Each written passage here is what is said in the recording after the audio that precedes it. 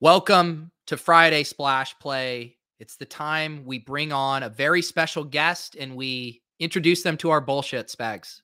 Yeah, we are having the great Nick Ercolano on today, a man who's, I would say, really one of the coolest people out there in fantasy football. I'll put that out there right now. We're going to run him through the gamut of ride or die picks for week 14, and we're going to engage in a little passion of his as well, comparing fantasy football players to types of margaritas. So, Pete, let's hit that intro.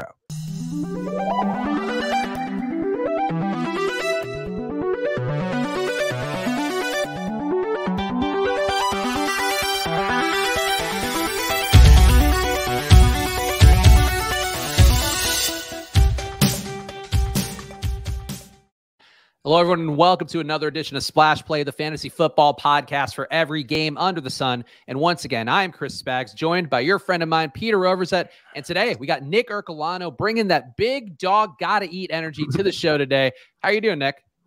Doing good, man. I don't know. Uh, I don't know who set the cool bar for you guys, but we need to we need to raise it a little bit if if that's uh that's the name you have for me. Well, well, I mean, Spags just moved from LA out to the East Coast to have a child and live in the suburbs. So his barrier for cool now has has changed. Okay. Well, where where in the East Coast? Well, I'm in Philly now, but from New York. And actually, like Nick, the thing with you that always stuck out to me is that I always thought you were like a Brooklyn guy. And I saw watching some of your videos that you're actually in Manhattan. But like to me, you're like, in my mind, you've been the fantasy football version of Nick Mullen from Cumtown. We're going to start with some real esoteric references right away. And I was like, no, he's actually like cool Sal Vetri, is what I'm going to say that I landed on yesterday. Oh, I love that. I'm gonna let Sal know you said that. Um, uh, I actually, I actually saw Cumtown uh, do a live podcast. Actually, no, they did stand up somewhere in, in New York. I was born in Brooklyn, and when I and I grew up in Jersey, and when I moved back from Jersey into New York, it was back into Brooklyn. So, like, technically, I'm I'm a Brooklyn boy, kind of through and through. But um, I've settled in Manhattan, and I don't know if you're ever gonna pull me out of this place. I mean, I was a Williamsburg guy. I feel like that's the one thing that can get you in. But now Williamsburg is the same price as Manhattan, so it's fucking useless. Yeah, I, that's where I, I, lived in Williamsburg for a year when I moved back into Brooklyn, and it's um it's fantastic, but I don't know, man. Something about Brooklyn kind of rubs me the wrong way now. It's like it's almost it's getting a little bit too weird, and I think like people are just buying into the weirdness to a level where like I'm not I'm no longer comfortable there. Uh, so it's a little, little, bit of Austin. Go ahead, Pete. Yeah, I was yeah. gonna say, what's the Austin slogan? Uh, Keep Austin weird. And Nick is like, can we make Brooklyn less weird? Uh, I like Austin though. I do. I do. Make Brooklyn 10% less weird. That's the campaign we're going to start today. But we appreciate Nick being here and we appreciate all you guys being here as well. So make sure you are liking this video. Subscribe to the channel as well, whether you are watching watching on the Splash Play channel or Peach channel. Uh, Pete, you didn't hit 10K yet, did you? I don't think so. I think uh, we're still struggling. All right. Well, yeah, we need got we need that Nick Ercolano boost right now to get Pete to 10k right here on the show. So please subscribe to the channel and hit that like button to get seen by more people. And actually, a quick plug here for Football Outsiders. And Nick may not know this, but Nick, you did a campaign. Apparently, I learned this from our marketing team today. Uh, I would push people right now to go to footballoutsiders.com/slash-subscribe. But Nick, you did an influencer campaign with them last summer. You may not know you were the number two overall conversion guy last summer for them and what you were doing with them. Uh, it's that's disappointing. I don't I don't like coming in less than number one when it comes to the conversion rate. Yeah, I do remember. Uh, I remember working with Football Outsiders. We went we worked through an agency, and I want to say the name of the. I don't know if I can name drop this or whatever, but uh, I think their name was the Goat Agency. Like straight oh, up. Oh shit, the Goat Agency. yeah, I know. See, that's that's the that's the fucked up part about it is like they get those reactions even though they didn't do anything. You know, like they're the Goat Agency, so you call them the Goat Agency, and then there's a spiraling difference between um how you interact with them. But yeah, I, I do remember uh, working with Football Outsiders. You guys sent me the uh, the almanac, which was super super cool. Um, I use that to to cite a lot of stuff throughout my uh, summer analysis videos. So now I got some free ads from Nick. So go to footballoutsiders.com slash subscribe. 99 cents a week are the packages on there. But got to give Nick a shout out. He is a man who's doing legitimate content for the people. And I think that's the main thing that jumped out to me when our marketing team mentioned it was like, oh, yeah, like that makes sense. Nick's a real guy. He's going to convert better. And I'm not going to throw anybody else under the bus. Some big NFL names were also part of the influencer campaigns and literally converted one or two subs. So I feel like you got to, you got to take the credit where you can get it, Nick. Yeah. Um, I, I don't know if it's like I think the key to being able to convert is is actually not having a, a sizable audience because once you start getting NFL player size, I don't feel like anyone believes you. Once you're like once you're like really big, like nothing that comes out of your mouth really makes sense anymore. So I think it's probably just the blabbering that I typically do on a on a, a typical basis. I'm sorry, I didn't get a lot of sleep last night, so if I just start going off the rails, that's why. No, you do sound a little nasally, a little a little tired uh, today. But on that same wavelength, did you have any thoughts on uh, Pat McAfee's thirty million dollar uh, deal with FanDuel there? Man, it's such a crazy deal with FanDuel. Um, to be the, the deal was for them to be like the the main sponsor, right? Like he was that's his sports book. And it's crazy because now he's probably gonna get another deal similar to that, how like Joe Rogan or Call Her Daddy got uh, siphoned off to like Spotify. So he might double up on a deal like that where he gets the, you know, the advertiser and then gets the Spotify like exclusive platform thing. So I mean, it just goes to speak to um, just like the enormity of, of the money being thrown around in, in in our industry right now. And I think like there's never been more of an opportunity for you know people to one break into the industry, but like go about it their their own way. You know, like Pete, you're you know you're off on your own now. You're not working your full time job as of like last year, and there are a lot of people that can can do it, and you don't necessarily need to.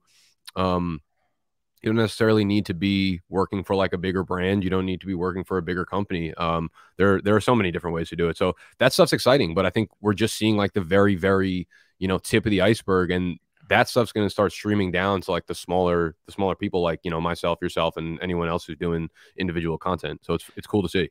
And sometimes it's great to work for a bigger company and hope that they can ride their coattails of equity and then maybe they'll pay off at some point. But, you know, different strokes for different folks out there, but definitely a good thing. And Pat, you know, Pete and I have talked about this a little bit, Nick, but Pat, I know from my Barstool days, he was there starting the brand uh, that ended up being his whole thing now.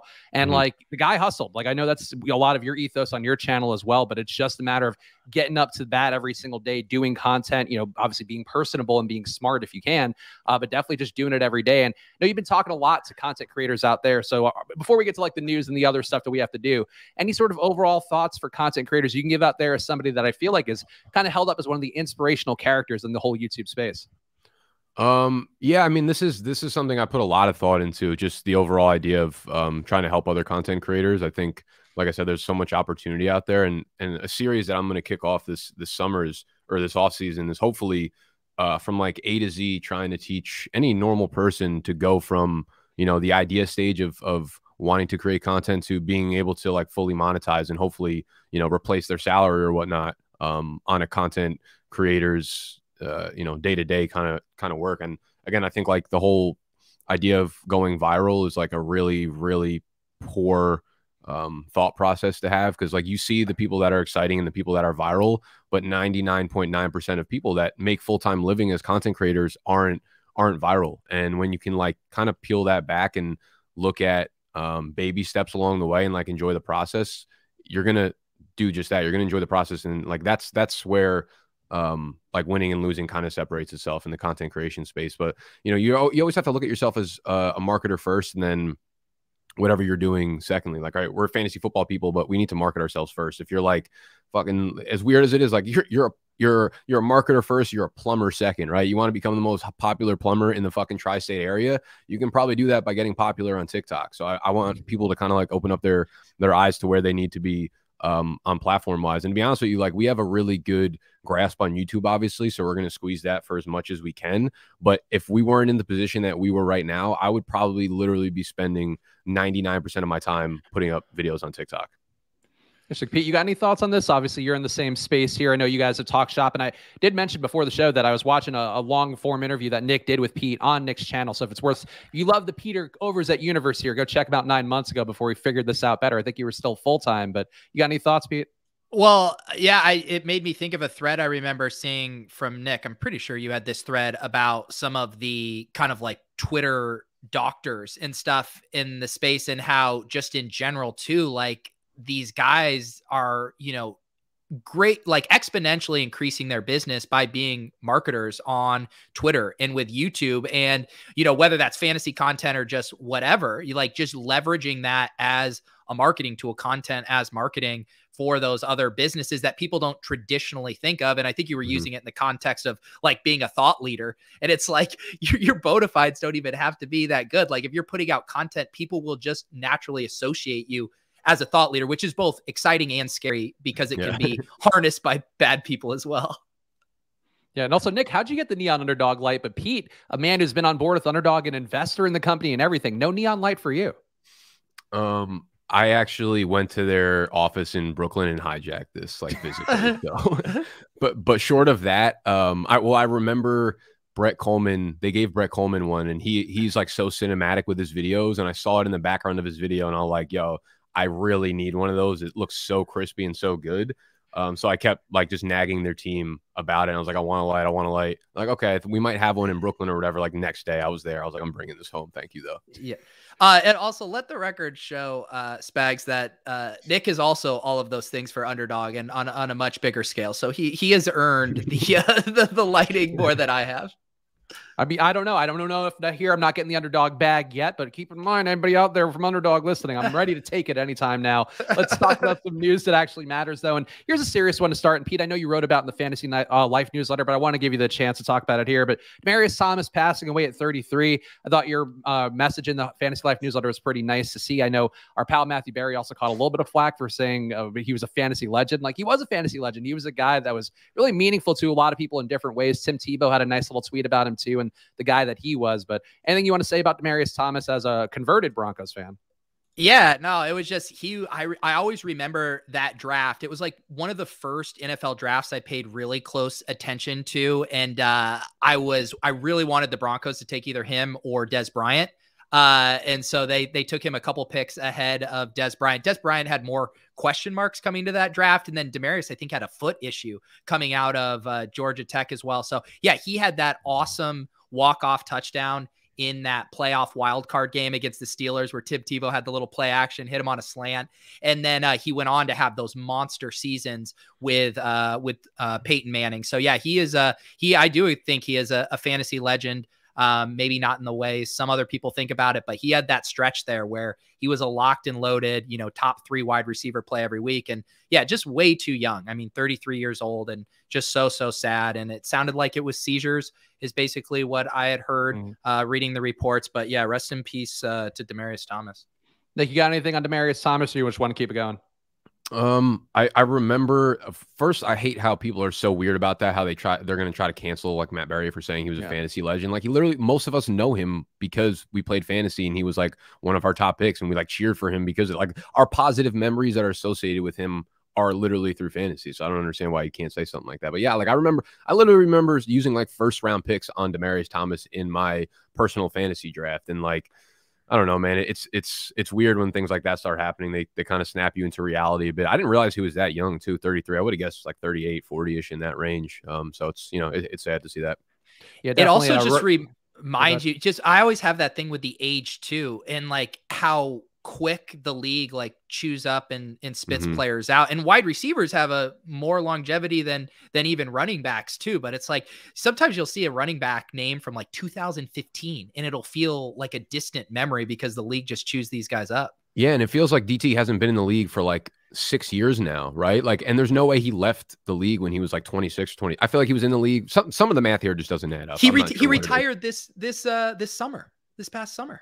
Is that true yeah. yeah, yeah, he was on the Jets for a minute, like a couple. I think yeah. last year even might have been on the Jets. Uh, but yeah, then he he signed with the Broncos to retire with them, and yeah, these guys get chewed up, and you know the seizure thing. I think you could probably tie to football. Point being, I think you know you got to appreciate these guys while you have them, whether it be on a fantasy level, whether it's a guy on your team. And I, am with you. I think the Matthew Berry cancellation thing. Uh, we are very much Team Berry here, but um, you got to appreciate these guys however you get them. And I think uh, certainly you got to touch a lot of people in his life. So rest in peace to him. Keep it moving though. Uh, one thing in the actual game last night, Chase Claypool celebrating. Feel like we got to talk about it briefly. Uh, got a first down. Then I was kind of looking around for the refs and then did the the first down point thing that every player does. And now just getting excoriated on social media. And and Pete, you know how this goes. I know how it goes to get excoriated on social media, but you know too. I think in various ways how people respond to these things. And you feel like the Chase Claypool shitting all over him is deserved or no?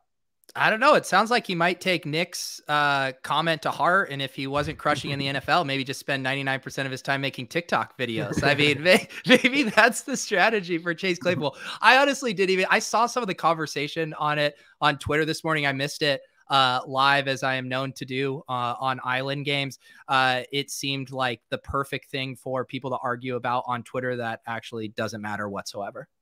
Yeah, our, our pal Eric Beimfohr was catching some shrapnel. Was getting a little bit of.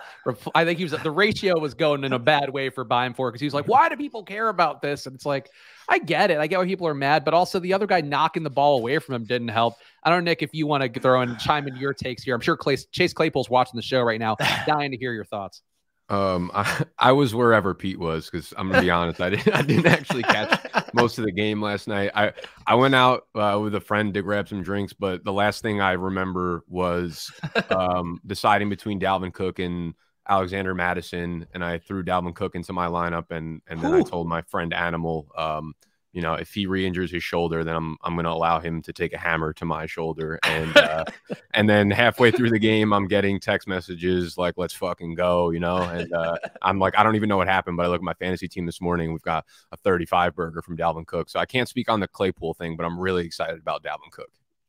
In the chat, too, Josh saying Claypool's a clown. LOL, absolutely deserved. Kyle saying dragging him is just indicative about the Steelers' feeling and how they feel about having a showboat receiver. I, I think that's certainly part of it as well. And um, you know, I think you can you can read in whatever you want about the reaction of Chase Claypool. I think he, he's an idiot, but I think he's not that big of an idiot as way people were treating him last night. Other news that actually does matter: Mike Williams continues to test negative, seems on track to play versus the Giants. Pete, we talked about this yesterday. I feel like Mike Williams has to be really, really well received, whether you're playing the season long, whether you're playing DFS. How do you feel about Mike Williams' prospects this week with no uh, no Keenan Allen out there? Yeah, I mean, he's going to be an awesome play. We saw him crushing earlier this season when Keenan was playing and kind of garnering high target totals. And then that pendulum kind of swung back in favor of Keenan more recently. He did have a good game, cleared 100 yards last week. So, yeah, without Keenan uh, and going against the Giants, I mean, he should have what, eight, nine targets. And then we'll also get some deep shots against a bad secondary. So, yeah, I'm, I'm pretty excited about him. Nick, how are you feeling about uh, the prospects here for Mike Williams? And I know you're not a DFS guy. The Josh Palmers of the world, we're going to get touted up to, to, to the gills this week. But for season long, anything matter to you with Mike Williams getting a little bit more of that target share? Um, yeah, I mean, you got to like Mike Williams more. Just naturally, he's probably going to see you know upwards of like 12 targets this week. I do think it's you know, the Giants aren't a good team, obviously, but I think they're like a sneaky, semi tough pass defense there where this might be a game where it's kind of like slow and a lot lower scoring than people. You know, you might see Justin Herbert on the slate and be like, oh, you know, 27 fantasy points. This could be a day where he just throws for like 250 and two touchdowns. And Mike Williams probably eats his, but the running backs probably get a ton of touches. Um, I'm sure New York is going to try to grind as much clock as they can to keep them off the field. So, um, overall, I'm probably a little bit lower on the Chargers offense as a team, but like, you know, there's nothing that's going to stop Mike Williams right now because Keenan Allen's off the field and that really is his only obstacle to having big games on a weekly basis. Yeah, both Mike Williams and Austin Ekeler certain, certainly the ceiling has got to be there a little bit more this week. Melvin Gordon also practice should be go now versus Detroit. And Nick, I saw you talking about Javonte Williams being to you a, a run of the mill mid mid first round pick coming up uh, for next season. You're already starting on the best ball drafts, but Javonte Williams, if you're playing him in season long, are you going to trust him this week with Melvin Gordon available to vulture some touches away? Yeah, hundred percent. Um, I feel like I, I'm not really sure how I feel about the situation, but it's like any objective eyeballs, you can't see what he did last week and then assume he's not at worst, you know, the sixty percent touch guy in that backfield. And there's going to be a lot to go around, I think, between both of them because they're they're playing against Detroit, and naturally, you know, there should be like 35 touches between the two running backs. I think what Denver's proven though this year is that they're very, very clearly intent on using some sort of committee back there. Like Javonte looked great last week, but I don't think that you know, means Melvin Gordon's about to get into like a five touch role. I think we'll see something kind of similar to what we saw in the beginning of the year. I would say like Javonte probably gets in the 18 touch range. Maybe Melvin's down at like 12 or 13, something like that. But Javonte is clearly taking over the lead back uh, role in my eyes. There's no way he, he isn't going forward. You think so, Pete? Do you think that Javonte Williams actually gets away from the 50 50 split that's been killing your love for Javonte Williams? You've been touting him all year long, and it does seem like maybe he deserves a little bit more after that breakout game. Well, my my thought at least for this week is you were able to start Javonte in a timeshare, a 50-50 timeshare even before this. Now you have the genie out of the bottle kind of aspect and they get the Lions. So I would feel comfortable even if it was a 50-50 and I'm more with Nick. I think at worst this feels like a 60-40 now in favor of Javonte and a really good matchup. So I, I think he's an awesome start uh, this week. I don't I would have to be absolutely loaded at running back to sit him.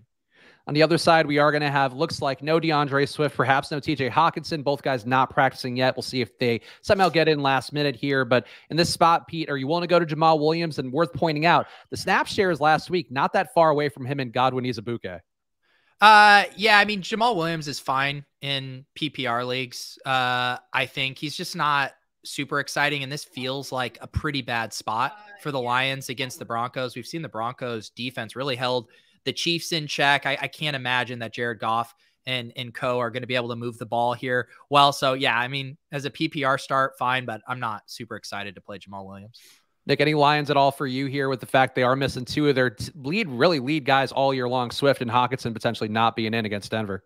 Yeah, I, I like Jamaal Williams. This feels like um, one of those instances where everyone's going to take this one game sample size after seeing you know a four year career of Jamaal Williams and what he can do in the passing game. So I, you know, is are we going to be surprised when Jamaal Williams catches five or six passes this upcoming game? Not at all. And I, I probably I think that's more likely to happen than not happen. So I can see him getting another 15 touches um, you know, maybe 15 carries or 13 carries or something, but like five or six targets in this one. So I'm not like going to read too much into last week's game. I think Jamaal Williams is clearly, um, yeah, I don't think he's like a great start, but you're definitely going to get him into your lineups at this point because you probably don't have that many other options. Jets and Saints also running back machinations going on here. Notes Tevin Coleman, Austin Walter is apparently going to get a lot more work this week. Ty Johnson still in the mix there. And Alvin Kamara also practicing this week, should be good to go. Nick, do you like the running backs on either side here in this Jets Saints game? Uh, yeah, I mean, I feel like Kamara is probably the consensus overall top play this week, right? Like RB one. If if Mark Ingram's going to be out this week and they're going to have a game in which you know they'll probably have good game script. Like I, I could see Kamara going for like three touchdowns in this game. This is like his welcome back game. Um, on the other side of things, like I haven't really been interested in a Jets running back. All maybe Michael Carter too, to a sense, but I don't get like why don't why they don't give Ty Johnson some run. Like he'll make explosive plays and he'll look good at times, and then all of a sudden he gets relegated to behind someone named fucking Austin Walters. yeah. Like I don't, I don't know anything about Austin Walters, but clearly they're going to give him a little bit of run here. Um, so I'm picking him up in dynasty leagues if I can. I'm not even like best case scenario. Uh, like even if you have someone getting 60% of the touches while Michael Carter is out, it always amounts to like literally six fantasy points, you know, like 60 yards at the best. They're not scoring touchdowns. They're not catching more than two passes. So it's like, it's hard to get excited about anybody in the backfield. And Zach Wilson, not a lover of checkdowns either. Pete, how about you? Do you see any having any Jets backs in your lineups this week, or any of your big dollar lineups, I guess, or maybe Kamara for you? Yeah, no, no Jets backs. Kamara does look really interesting. I do think him and Ekeler uh, are kind of the clear cut uh, top plays at at running back this week. And yeah, I was looking at the the sim results on Run the Sims earlier, and Kamara looks looks awesome relative to what the field's going to want to do. So yeah, I'm I'm in on Kamara for sure.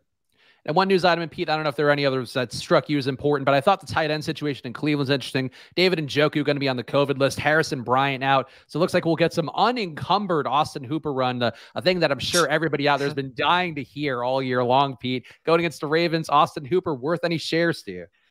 I mean, fine. Yeah, sure. I I hadn't even I, I had missed the Njoku stuff there. Um, yeah, I guess he's fine. I mean, tight end down there in that range, it's just like you're just praying for a touchdown uh, Cleveland, may, maybe things have been fixed out of the bye, but their offense has not looked inspiring outside of the run game all year. Nick, how about you? Any thoughts on the Cleveland tight end situation? And by the way, point here why I think you're right to care more about season long because these are the kind of things you have to worry about when you're sweating DraftKings lineups. oh yeah, is, is Austin Hooper worth the three thousand this week? Yeah, no, there's like 22 tight ends. I would probably still start over Austin Hooper right now. So he just like all those guys from tight end 12 to 20 are the same. Like you said, yeah. you're just hoping he scores a touchdown, but he doesn't even really offer you a big play ability. You know what I mean? At least some of these guys are like fast or like run a good 40. So maybe they'll break off like a 30 or 40 yard play. It's just, it's not even there with Austin Hooper, you know? Yeah, I think that seems like a fair one. Pete, any others you want to bring here? I know you had hinted at the Deebo news, but he didn't practice yesterday. I feel like he's not going to play, but do you have anything else you want to bring? Well, we could mention just in for the Niners, uh, Eli Mitchell didn't practice again mm-hmm. today, and Jeff Wilson has been a full practice. So I think we're heading toward a Jeff Wilson, JaMycal Hasty split backfield, which I feel like might be a mess for fantasy with Wilson kind of getting the early down carries and Hasty getting the pass work. So I don't, and, and the Bengals have been pretty decent against the run as well. So I don't know. I want to be more excited about a 49ers running back, but this feels kind of gross to me. Yeah, I'm with you. Hasty really pops up a lot, even if you give him 20 snaps in my projections. And I think that's something that uh, gives me enough concern for Jeff Wilson that I don't know you can trust him heavily, but certainly some appealing options to go to if you are desperate for a running back in your season long leagues or for DFS this weekend. But now's the time. And Nick, I know you did a lot of work on this one. We we love comparing players to random esoteric things. And today is the time we're going to compare fa- fantasy players to margaritas. And Pete, if you want to slate it any further than that, feel free.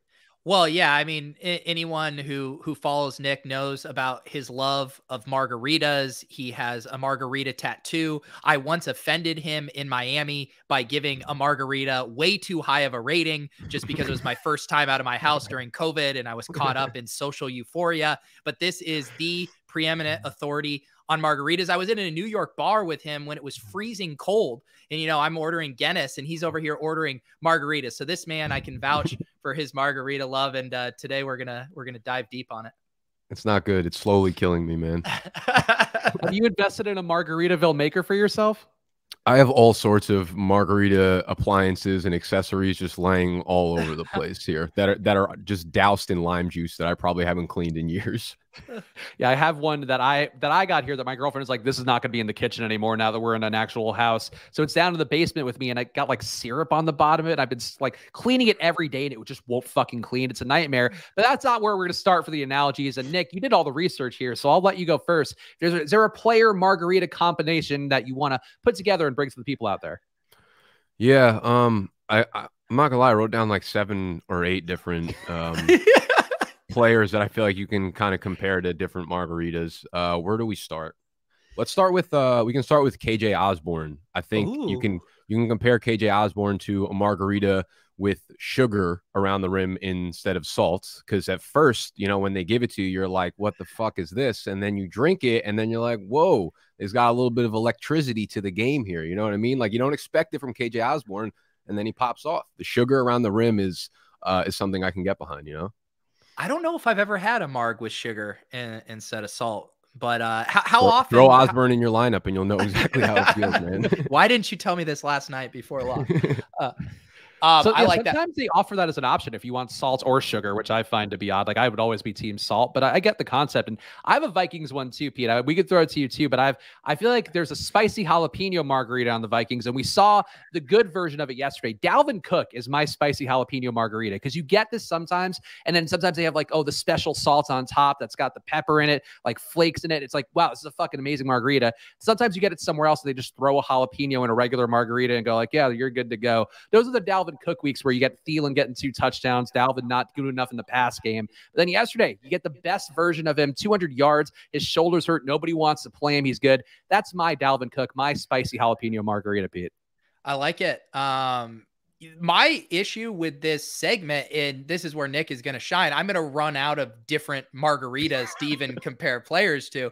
So I was going to do one that was more a, a little esoteric. It's like you go to a fancy cocktail bar and they have their spin on the margarita, and it's always something like a pomegranate, mango, lime. Mar- Mm. like it's it sounds too much. And this is the Cordero Patterson where you're like, is this going to be too much? I don't really want this in my lineup. There's other guys I like more, and then they bring it out to you, and because it's a good place and a good cocktail bar, it's perfect. It's not too sweet, has just enough salt on it. It's really uh, understated. And you're like, oh, yeah, Cordell Patterson is, of course, going to score a touchdown here. So I'll say the random multi fruit uh, cocktail from a nice cocktail bar. I feel like we that one. we always come back to Cordell Patterson and Mike Davis in these comparison segments, and it's always mean to Mike Davis and very flattering to Cordero. I tried really hard to think of one for Cordarrelle Patterson. I was like, what's the most like versatile margarita? And then I just got two in my head and I was like, you know, I'll just leave it and Pete ripped it off. All right, I'm gonna go with uh Not all of these analogies hold up here. All right.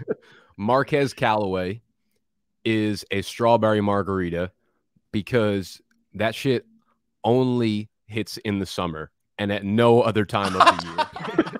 That's so good. The preseason margarita. Mhm. Uh, God. So, all right, I got one. I will say so. This is again a real esoteric one, but you know when you go to a nice Mexican restaurant and they have the margarita with their name on it, it's like oh, like El Cholo's margarita here. Of course, that's going to be good because they put their name on it. That's Cooper Kupp, where you know what you're going to get. It could be a basic margarita, but if they're willing to put their brand on it week after week, you're going to get those nine targets. Maybe it'll be 100 yards, maybe it'll be two touchdowns, but you know he's going to get the work. And I feel like that's where it is, where you can trust the margarita, trust the establishment. That's Cooper Kupp for you.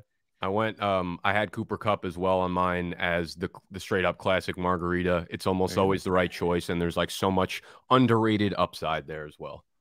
there's there's too much opportunity cost for me trying to bullshit my way through some of these. So I want more from Nick's prepared list here. Okay. Um we're going to go with Chase Claypool is uh the frozen margarita because Oh. it looks really fun on the outside, but you'll never be able to drink more than one in a row. Like you'll never be able to put them into your lineup more than one week in a row. I See, love it. I, I have a frozen margarita too. I went with Jared Goff as my frozen margarita because you know like what it's gonna be going in, and sometimes you're gonna get like Jared Goff thrown 60 times, and this margarita is like, oh, it's a perfect frozen margarita. And sometimes you just have brain freeze, and you're like, why did I do this? Like, what what kind of choices am I making that led me here? That's how I feel about Jared Goff, and that's how I feel about frozen margaritas. What Okay. about Nick? I- Is this the same for the Claypool? But like, I'm talking like a Vegas foot long frozen margarita. Is there is there a different Ooh. player for this one? I almost feel like that could be Cordarrelle Patterson, honestly. Like there, there's it's so much fun. There's so much upside to it. Um Do I you know guess what that- It kind of feels like the people who take a quarterback in the first round, you know, like the Vegas tourists that just like the they're like, oh my god, I want Tom Brady on my fantasy team. I'm going to get a Yeah. foot long margarita and walk the strip. That's very good. That's very good. Um, Any other margaritas for you, Nick? I, we've covered mine. I, um, Pete, just to be clear, I pre-wrote mine because I didn't want to embarrass myself in front of Nick as a margarita connoisseur. So if you got any more, Nick, feel free to air them out. Okay. Um, I was gonna go with Pete Carroll, more of like a, a bartender role. So he's the guy, he's the guy who makes a margarita with orange juice in it, right? And no matter how many people tell him it's wrong, that that's not the right equation, he insists that that's how a proper margarita is made. And, and then he fires his bar back who suggested, uh, and he says, We actually need more orange in these Yes. margaritas, everyone. Yes, thank you. Yeah, Um, I, I think there's probably a good amount of coach ones. I feel like there's some Belichick margaritas floating out there. But what else? Nick, empty the can here. Keep giving us more margaritas. All right, I'm just gonna rip off a few here. We got uh, Julio. Julio Jones is uh, is a marg that was simply just left out at room temperature for too long. all, all the ice is melted, and you're just left with one big shiny mess. Uh, I had Rashaad Penny as a spicy marg uh, because I am not good with spicy things, so it is neither touching my mouth nor my my lineup. And then lastly, I had kind of lazy one, but it was Darnell Mooney as a mezcal marg. So it's not Okay. for not for the faint of heart, but if it hits, then it's popping off. Right. Darnell it's one of those known for things. its smokiness. That's what. Yeah, because you you go to the bar uh, thinking you want the classic margarita Allen Robinson. He's not available, and they say we do have a mezcal marg Darnell Mooney, and then it's pleasantly surprising. Mm-hmm. Who's That's the dive bar That's all I margarita? Like, who's the one that you put it? I feel like that's Christian McCaffrey this year, where you're like, oh, like I've heard about margaritas before. Let me get a margarita, and then you try it. You're like, what? What is this? This is just watered down. Christian nothing. McCaffrey's like- in this cup. Yeah, Christian McCaffrey's like a margarita that was roofied. I think that's the way I would put it. Just leaves you laying in a ditch, wondering where you went wrong. That is the Yeah. Christian McCaffrey margarita experience. Pete, you got lapped here. I got to say that. Uh, I know I did. I, I didn't plan anything out. I was just trying to riff and uh, build on on your guys' great work. I, I knew I couldn't commit uh, compete with with Nick on the margarita game. I love margaritas, uh, but it's it's hard to compete with Nick on that level. Yeah, well, to be fair, like I told you before we got on, like I I did more prep for this little segment than I did for most of the fantasy stuff I've actually done up to this point in the year. So That's Well, how it Nick, goes. I don't think you probably don't need the plugs at this point, but give it to people anyway. I know we're simul. I think we are, we are simulcasting on your channel, right? But uh, whatever the case may be, people know your deal hopefully by now. But tell everybody what they could expect and and also some of the big moves you're making with your company. Uh yeah, so we're not simulcasting right now, but I asked Pete if we can if I could take this video and like upload it as an actual Okay, video okay. to my channel. So if we could do that, that'd be that'd be great. Never never like to let content go to waste. Um but yeah, I mean I'm, I'm like on on my channel. No, no, you know what? I like to get it out to as many people as possible. you- You fucking asshole. um yeah no no so we uh yeah we do most of our stuff on on youtube. Um a lot of it is fantasy football centric. We do a lot of dynasty stuff in the off season as well but um, we live in new york so we like to take advantage of the city here. So you know we'll put up a lot of vlogs just kind of following the behind the scenes of us building the brand and we are um, in negotiations actually to sign our first office lease and we're going to be making a few uh, full-time hires within the next like month or two. So we're actually for the first time ever like really trying to scale this thing into a into a media brand. So a lot of exciting shit coming in in 2022, and um, yeah, man, I'm- I'm just looking forward to everything. Did Yeah, you make sure to check out Nick's channel if you haven't. And Pete, go ahead. I was just gonna say I can't remember if it was on your Instagram or I saw some video of a office you were looking at that looked sweet. Was that? Did you guys end up getting that one? Um, so that is that's our top choice, and we're going back and forth with the landlord on that place. But you know, I don't want to like throw anything out there, but that's looking like it's probably going to end up being the HQ. Yeah. That looked. Did you get a place that's like walking distance to your apartment? Um, it's right near like Penn Station. So some of the people we're going to be working with, it's not necessary. Like in the summer, I can definitely like walk to it or bike to it. Right now, when it's cold out, probably not. It's like 25 or so blocks. So it's kind of like pushing the the limit on how much physical activity I want to put into the day. But it's like a really good location for anyone coming in. Like if Peter or you guys, any of you guys are in in you know in New York and you come into like Penn Station or whatever, obviously just come right by the uh right by the office because it's it's easy for anyone coming in from New York and it's kind of like central to anyone that's living in New York also. So. You could do a little guest booking too there. But yeah, go check out Nick's channel if you haven't yet. I again I was watching it late last night, just trying to catch up on Nick's work and really found myself down the rabbit hole. Lots of fun stuff he's doing in the vlog content. I saw you you survived COVID, which I'm very happy for you, Nick. And I think you're all the better for it on the other side. But it's time to do our ride or die picks, Pete. And I'm gonna let you introduce the concept because again, I think Nick's pretty cool. I don't want to embarrass myself by talking about our silly children's game where we make up the rules as we go. Um, that is that is the case here. I, I think I adequately described it to Nick in the DMs, but we are gonna go uh game by game here. We can pick uh any kind of bet imaginable, a player to score over X amount of fantasy points, uh, a player to outscore multiple teammates. You can even go cross game. You can say Taysom Hill outscores Tom Brady. And then the, the game within the game is whether your pick is worth one point, which is like a 50 50 kind of pick, three points, which is more like, say, it has a third of a chance of hitting, or a 10 pointer is a true Hail Mary sub 10%. So what generally happens is Spags picks things that would be like a six or a seven pointer, but we do not have six or seven pointers. It's only one, three, or 10. And then we argue with each other, much to the delight of the viewers. Yeah, so there we go. So that is a ride or die picks for you, and it's it's always fun when Pete just throws me under the bus on the way out too. Again, Nick, I'm trying to look cool for Nick. Pete, just be like, "Oh, Spags is really great at the game. Like he's really pumping me up a little." I mean, some things, it's it's hard to make you look cool. I try really hard, but I mean, there's only oh. so much I could do. I'm the coolest. Our first game up, Seattle getting 24.5 implied points, Houston 16 implied points. That total is getting downright ugly. And Pete, set the bar here with your ride or die pick for this game.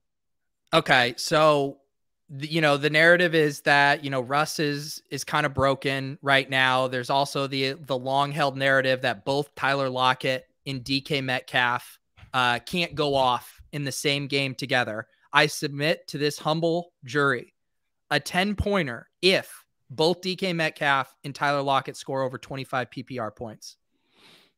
I think that's a 10 pointer.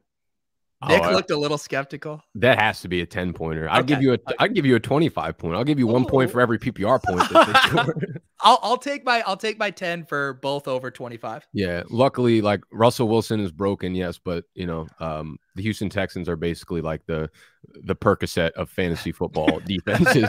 they, will, they will fix anything that's broken for you. They'll push through no matter how much pain he's in. Nick, you right. know where the bar is set now, so feel free to take your first ride or die pick.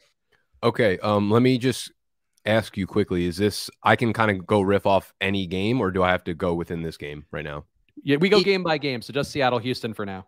Okay. Um literally I, I wrote one down for almost every single game and this was like one that I didn't actually get one down for. So off the rip, we're gonna go with um another hallmark of this game is normally like I'll say something and Spags won't have one ready and he'll just try to pick the opposite of mine. okay. He'll say, "Can I get you know ten points if Lockett and Metcalf are both under fifteen uh, fantasy points?" And that's so called that's... leverage in the biz. Let's go. Um, Gerald Everett outscores Davis Mills. Okay. I'm gonna submit that as a. I have to choose one, three, or ten. Like which one I submit it as. So we kind of sometimes you lead the witness here. Um, to me, this looks like a three pointer based on projections. I would agree. It's a three pointer. Okay. That's a pretty much a turnkey three pointer. Yeah. Like, yeah, one of the ones you get out of the box and you go, like, oh, I got to fix a few, I got to sand something down here, but it's still a three pointer. I will say in this game for me, how about Brandin Cooks outscoring both Tyler Lockett and DK Metcalf? That, what's that, Pete? Brandin Cooks outscoring both those wide receivers? Yes. Um, both feels like a 10 to see, me. This is the classic Spags bullshit. This is like a seven pointer. What do you say, Nick? I would I would give it closer to three than it is ten. That's what I'm leaning. I think we've I'll, seen I'll, the, the, big games out of Cooks before, so it's not like you know it's not anything insane. Spags, I will, but I always like giving you a chance. If he outscores them by five points, I'll give you the ten. Four and a half. Fine. Okay. Welcome to like, this. Is, this is what happens. got got to push back a little. As you know, Nick, you're a businessman. You got to negotiate a little. Even if you get that half point, it's worth everything at that moment in Very time. fair. Next game up, Atlanta 19.5 implied points. Carolina 22 implied points. Cam Newton starting again. PJ Walker might get some snaps is the exciting news item in this one. And Nick, you can go first. All right. Um, well, I'm a I'm a Falcons fan, and I know how this story ends up, and it's with uh with Cam dropping a 25 plus point fantasy burger on us. We have literally the worst pass rush in the NFL. Our coverage outside of one man, AJ Terrell, is just atrocious. So I imagine this being, you know, the the storyline is like, is Cam going to get benched? I think he comes back after a strong bye week and uh, throws up more than 25 fantasy points in this one. I think that's a classic 3 Mhm. Yep. I think another three. All right, Pete, Yeah. what do you want? Cam looks pretty good here. I agree. Should we do something with our pomegranate mango margarita, Cordarrelle Patterson? um, you know what? Let's we we got we got Kelce, we got Kittle this week, we got Mark Andrews. Do I get a 10 pointer if Kyle Pitts is the highest scoring tight end on the week? The highest scoring tight end on the week out of everybody. And Include Um, yeah, in, including Sunday night football, Monday night football. Okay, yeah, that's a 10. I can sign you up for I'll 10 for it. sure. Yeah. All right. All right. So I think if we were to look at any projection system, we would argue that Mike Davis pretty lowly projected uh, compared to one Here we Cordarrelle. Patterson, one dish delicious pomegranate margarita. Mike Davis outscoring Cordarrelle Patterson. Is that a 10 pointer? That's a 10 pointer for me. Okay. I will take that as a 10 pointer. I have him as half the projection, but he did he did outsnap him last week. Got to take the Mike Davis victories where you can get him. Yeah, All uh, I think it's I think it's a savvy one on your part. It's again probably like a seven or an eight, but we're gonna round up for you. Man, Thank there's you. really it's- there's game theory behind this, huh? Give me a There's like- pat on the head. Yeah. The game theory is really like whining and hoping that Pete will allow me to actually get Yeah. bets that are plus EV instead of just Pretty dog shit. But there's manipulation here too because Spags and I argued about Mike Davis uh, through much of the summer, so he knows he can be like Mike Davis sucks. You have to allow me to get ten points for this. So there's a lot. There's games within games here. All right, next game up, we got Jacksonville 17.3 implied points, Tennessee 26.3 implied points. Julio Jones back in this one, and I guess I'm due to go first. And boy, not a lot to love here. Um, Marvin Jones, highest scoring position player in the game. Pete, is that 10? So you're throwing out Tannehill and Lawrence and saying he outscores Robinson, Julio, those guys. Yeah, Hilliard, Foreman. I don't know that. It's That's an like ugly game. Pete. But Marvin Jones, Nick, what's your, what's your read on it? Where are you at on Marvin Jones? Does he have anything left? Dude, it's so. Oh, does he have anything left? Um, I'm sure he's got like one really annoying big game left out of him. I mean, it could Yeah. be this game, but like, I don't think this is spite. I, I I wouldn't feel good in my heart to give this a ten. I'm gonna be honest. I wouldn't either. Yeah, I'll I'll If do. there I'll was like a clear a clear alpha or top dog that he was going against, like point wise, that you're like this guy is a rock solid like top seven fantasy running back. Then I'm like, okay, that's that's a ten pointer. yeah, just just say highest scoring guy in the game. The quarterbacks don't even project. All right, I'll that throw well. in the QBs. I do have Tannehill projected stupidly high, but I'll, I'll take it. I'll take it. Yeah, I mean the problem is like Nick was saying, James Robinson might not even play, and Mm-hmm. Julio Jones is coming back from what like a six week layoff, and those are the top two other skill position. They got guys. Carlos Hyde then getting all that workload. Get out of here. all right, Pete, what do you want? I'm gonna use the the uh the Mike Davis logic back on Spags. I want 10 points if Laviska is the highest scoring uh, player in the game, quarterbacks included. Uh, yeah, that's a 10. That's might, might be a 100 pointer at this yeah, point. you, you can have as many points as you want. All on right. that. Let the record show I'm requesting 100 points if Laviska outscores everyone in this game. I'm gonna be really bummed if this is how you win the year. so this is not putting 100 points on us. Nick, what do you want? Uh, I want a 10 pointer that Dontrell Hilliard finishes again as a well, I guess he had a bye. The previous week he was a top 10 fantasy running back. I think we get another top 10 fantasy running back performance out of Dontrell Hilliard in this one with Jeremy McNichols returning. Yeah, I top 10. I yeah, I think that's a 10 pointer. Yeah, I agree. I don't think McNichols is going to take that much away. I feel like Hilliard's kind of past him. Would be my. I I, think- threw, I threw that in there in case you were on the borderline of like a six or seven. You're like, oh wait, McNichols is coming back. It's gonna be a little bit harder. Let me just give him the 10. Yeah, McNichols can't. His his brain is bleeding on a daily basis. He doesn't. Yeah. you don't think he's taking much away from Hilliard. Baltimore, twenty point three implied points. Cleveland with no tight ends besides Austin Hooper, twenty two point eight implied points. Pete, you are due to go first on this one. Find someone who loves the Austin Hooper Week 14 storyline more than Spags. This guy will fucking wedge this into any He's conversation. He's, he's like Kendall on Succession. He's due for something positive in his life. oh my god, Nick, do you watch Succession? I uh I didn't for a long time. I just recently like ran through all of the seasons very like uh, a couple weeks ago. So yeah, I'm I'm caught up. You I'm, enjoying I'm it? here for the jokes, guys. Okay, I'm, I'm chill. I'm not a cop. Yeah. Um, all right, let's do uh so we have the Browns coming off the bye here. Um man, I'm so sad about Rashod Bateman just no longer being a thing uh after looking like he might be a thing. Mhm. Um let's do what is it three pointer uh Kareem Hunt outscores Nick Chubb. Yeah, it's a three. I'm good with that. I'll take Kind of a classic three. Nick, what do you want? Um, I want I want to go with very similar to your Marvin Jones take, but I'm going to say for uh, DPJ, Donovan Peoples-Jones, high scoring skill player um, in this game out of Browns and Ravens. I think Hmm. that's sharp. I think that's a 10 when you factor in Marquise, Chubb, Andrews, Landry, Yeah, Hunt. I, w- I would give it. If you put Lamar in there, it would certainly be an easy 10, but I think it's a close enough 10. I'll give it. We'll give gotta it. Trying to look cool here. Not we're a not here. We're not here for style points. We're here to win. um, how about if Devonta Freeman outscores both Nick Chubb and Kareem Hunt? Is that a 10 pointer? I got a nod from Nick. no. He only projects Mm. like three points less. I need you. He needs to outscore them by five. Four and a half. Fine, I'll give you this fucking four and a half bullshit. I love how you just want a moral W. That's all you want.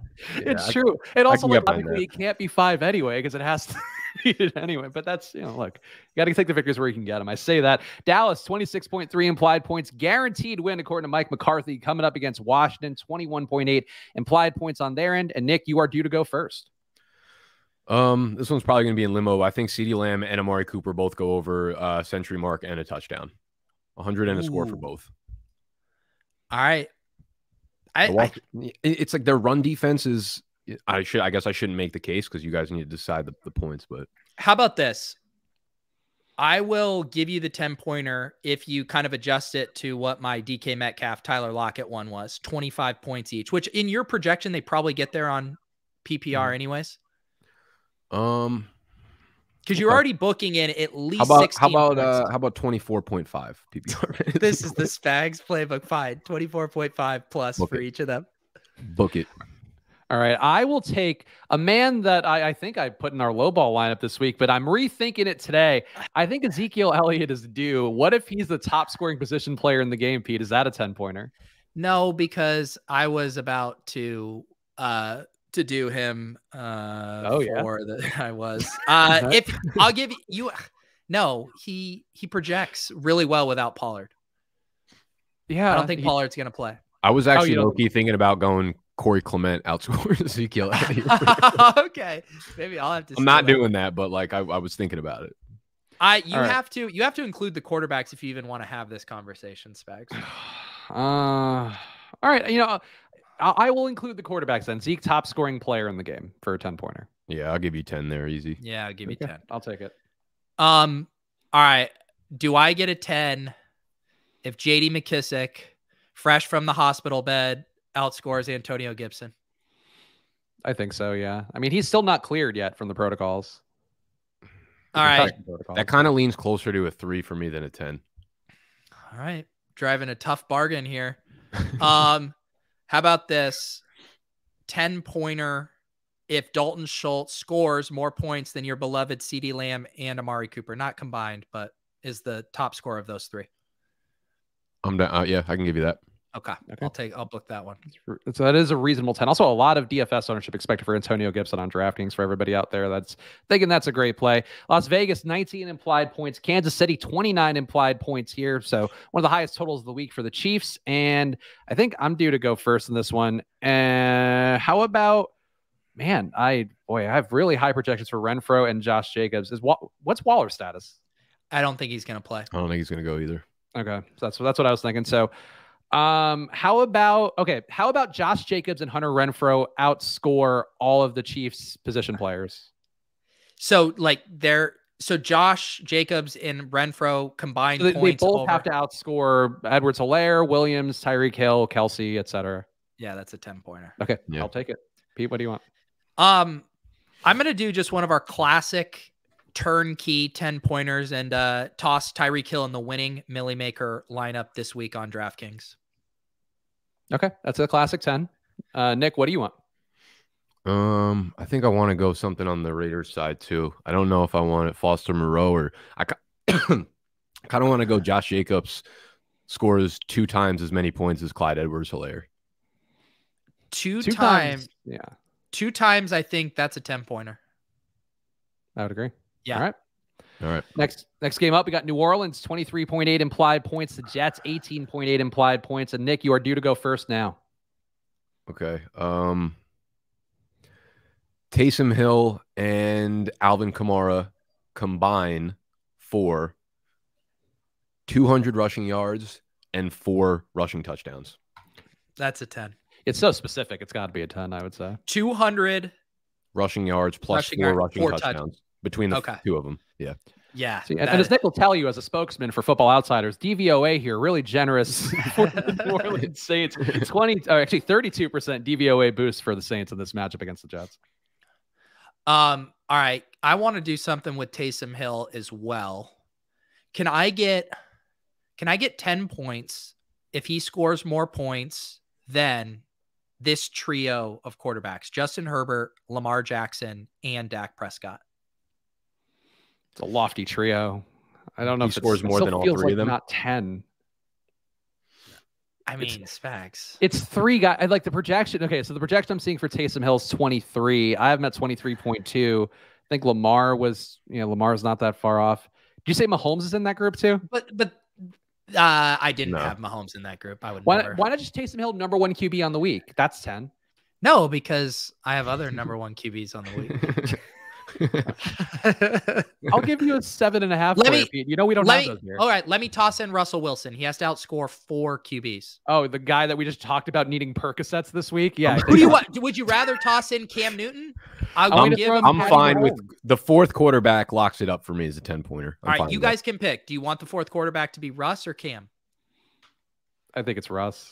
Yeah, we can go with Russ. Okay, those All right, four. and So help me God if Cam scores more. It's not even a thing, anything that matters to me now, but I got a principle. I just want that I, to sh- be I should have doubled down. So if Cam pops off, I win and you lose your bet. yeah, you got to correlate these. Um, how about okay? So then, we, Pete, you've you've established Taysom Hill unequivocally a great play. What if Uh-oh. also ran rookie Zach Wilson were to outscore him in this game? Is that a ten pointer? If Zach Wilson outscored Taysom Hill, barring That's an like a- barring an injury to Hill, I would say that's I, I would probably give that a 10. yeah, I do think it's a very sneaky and uh and smart bet by Spags. I think it. I A think in rare a, one. in a vacuum, it's like an eight pointer, but we're gonna round up here.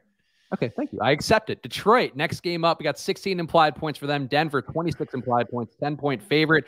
And I think Pete, you would do to go first in this one. Yeah. Um, I, I have a feeling Nick's gonna have something with Javonte Williams, so I might I might leave that for Nick. Um, let's do this one. I think Noah Fant has a big game. Will you will you give me 10 points if he's 100 yards and a touchdown? I, I, I'll- I'm willing to. I don't know that we've never used this as a metric on this show. We used to use that at Awesome all the time, which now gave, me, give my brain a little bit of a cross. So just to say here, he hasn't cleared 100 yards receiving this entire season. Good Okay. secondary. Good secondary pitch. I'm in now. I'm in. I wasn't before, but now that you said that, I'm definitely in. right, thank you. I I mean, if it's never happened, like Jakobi Meyers touchdown, it just it can't ever happen. So that's, That's the way right. it goes. Uh, Nick, what do you want? Oh, man, I did want to do something with Javonte. I didn't know which way I wanted to go with it though. Um, You can't decide if you're excited about it or not. I, well, I was, I, yeah, I was gonna go one of two ways. Either that he's like the number one overall fantasy running back this week, or Melvin Gordon just straight up outscores him. But I'm gonna, I'm gonna say, Ooh. I'm gonna say, um, I'm gonna go Javonte Williams, number one overall fantasy running back this week. That's a 10. Yeah. When you include Also- that whole also- field. Yeah. Josh in the chat pointing out that you accidentally leveraged against your own Lockett and Metcalf pick from earlier, which I don't know. Pete, that must be killing you inside. No, because we know what wins these weeks is just hitting on a couple of these. So I actually don't worry about correlation in a portfolio sense, Chris.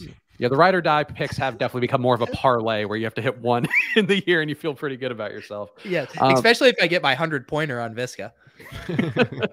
what if I were to say Godwin Igwebuike would outscore Jamaal Williams? Is that a 10 pointer? Fine. Okay, I'll take it. I also thought his name had a Z in it for this entire season, and apparently no Z's at all to be found in Godwin's name. You learn something new each splash play. Next game up, Giants 16.5 implied points, Chargers 26.5 implied points. And I think I'm due to go first in this one. It is a fucking dumpster fire of a game. Um, Pete, what if I were to say five Chargers are uh, scoring higher than all of the Giants players? So, just to give Nick some backstory, this is a construction of a bet that I would be proposing earlier on in the season, and I had a lot of success with it. And then Spags banned it, and now is trying to do it himself. Correct. What, so, a fair bet, some could say. So, he's saying that the top five scoring players are all on the Chargers, meaning the fifth. Uh, get so say it would be like you know, Chargers defense and Jared Cook even outscores Saquon Barkley. That's that's kind of it. Um, because the Chargers are so banged up, and I think the Giants are going to be getting a lot of their guys back. I will actually give you this one. I'll take it. That's again another moral victory. I'm racking up the moral victories, if not the real ones. Nick, I do. Do I am upset at myself, but this is one of the give action to get action, and it means you're going to have to allow me to do this later on as well. Oh, I don't even know what games you could do that in left, but I'm curious to see where you go with it. Nick, what do you want in this game? Um, what would I need for 10 points to put Justin Herbert outside of like, if I said he's outside of the uh, quarterback one range, if he's not a top 12 quarterback this week, is that 10? Do I need to go up to 15? Like, what do I need to be at for being? Yeah, because he's projecting, I'm seeing it, he's like a top five option this week. So you're saying if he's outside, outside, of the top 12. Yeah, finishes the quarterback 13 or 17 or whatever. Okay. I'll I'll give 10 for that. Yeah. Quarterback has a pretty that that would mean that guys like Heinicke, Baker, Zach Wilson, a couple of those guys are finishing ahead of him. I'll, I'll mm-hmm. allow that. Okay. All right, Pete, what do you want? Um, let's see here. I want to do can I get 10 points if Donald Parham outscores Saquon Barkley? Yeah, yeah, I think that's reasonable. I'll give that to you for sure. This is a little hedge against if Spags crushes his bet. Um, maybe I'll be live with a Parham over Saquon. I hope it's Tre' McKitty and Jared Cook doing everything. Tre' McKitty, a real human being, by the way, is getting snaps. Buffalo, 25.3 implied points. Tampa Bay, 28.8 implied points. Looked like a Super Bowl preview. Now, maybe not so much. And I think, Nick, we are back to you going first. Oh, man. I just looked at my notes and like all I, I just wrote the word over like 45 times. over, over, oh. over. Like we're fucking playing Mario over here. Blast um, off.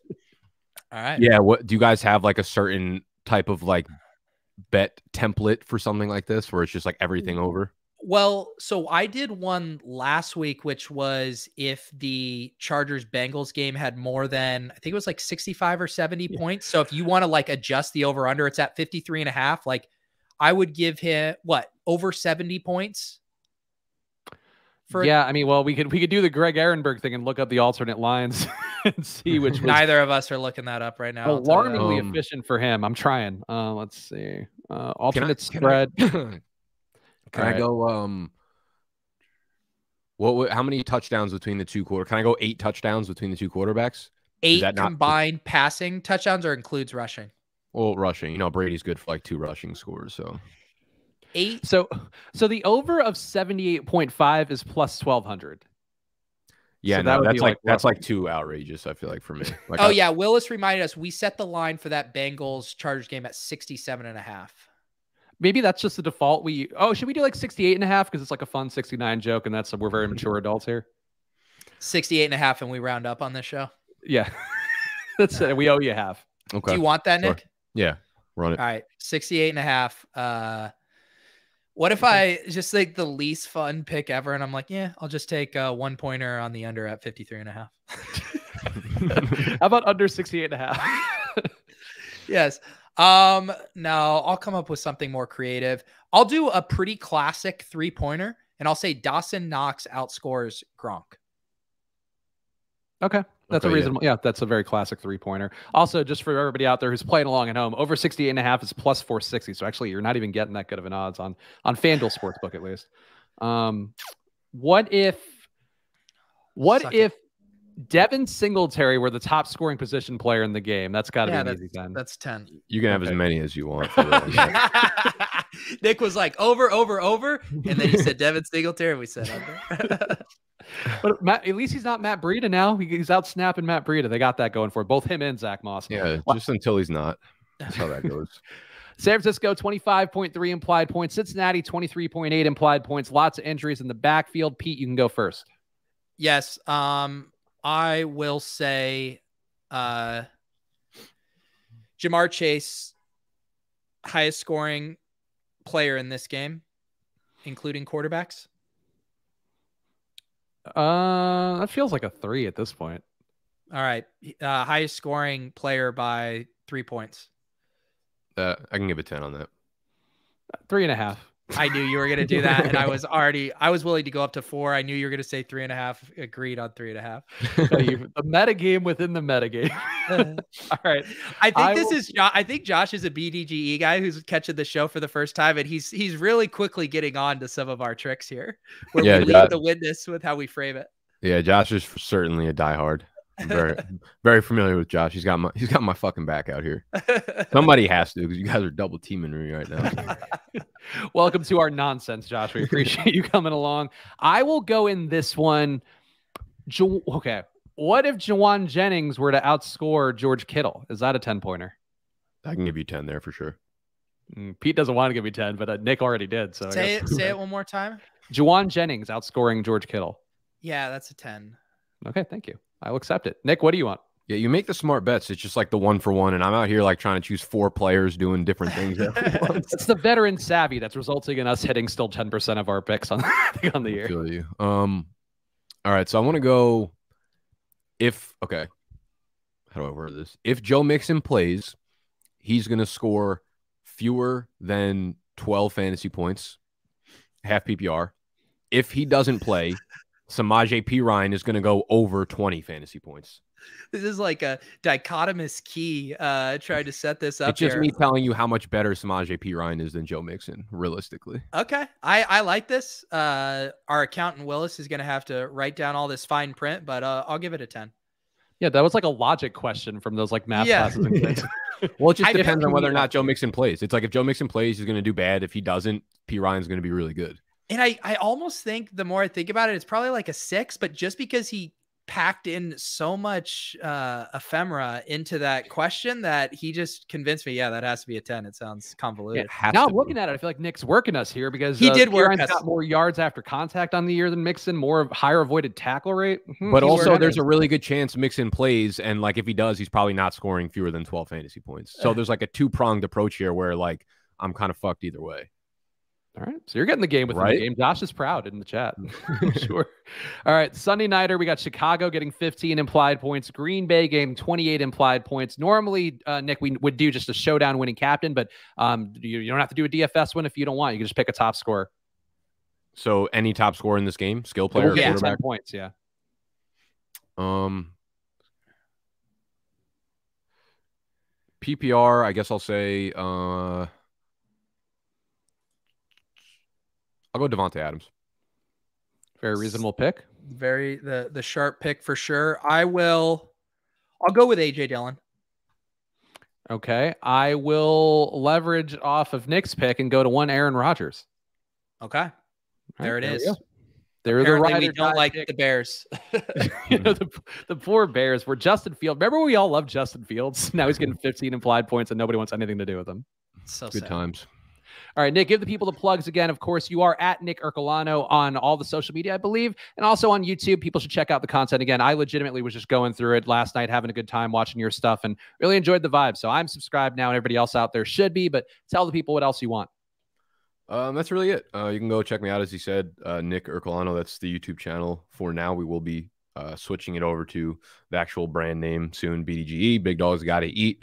Um, but yeah, hit me up on there. Uh, I'm available on Twitter if you want to talk shit to me. It's probably the only people I actually answer to on Twitter. If they, you got to rile me up to get a to get a response out of me. But Twitter, Instagram, it's all it's all gravy over there. All right, Pete, what do you have coming up this weekend? People should be following you at Peter Overzet as well, as well, of course. Yeah, we're actually I'm doing the rare uh Saturday stream. We flexed lulls to Saturday for uh UFC. Uh we're gonna do a little companion show. So we're gonna do some DFS, bring some friends on John Kelly, who uh actually just shipped uh Yeah, the. DraftKings uh showdown slate for like 350,000 and is uh an MMA thought leader. He's gonna join us. We'll have some other guests swinging by. So we'll be doing that tomorrow night. And then uh Sunday morning we'll be back for the GPP DFS uh, slate preview at uh, at 10:30. All right, so make sure to follow Pete at Peter Overzet, follow Nick at Nick uh, Nick Ercolano, follow me at Chris Spags, and of course follow at Splash Play Pod, where we're following everybody back on there because we appreciate your guys' support. We'll be back Monday, 2:30 Eastern. So enjoy your weekends. Good luck.